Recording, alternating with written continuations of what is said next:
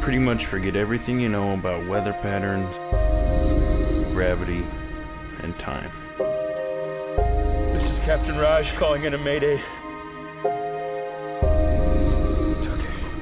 It's okay.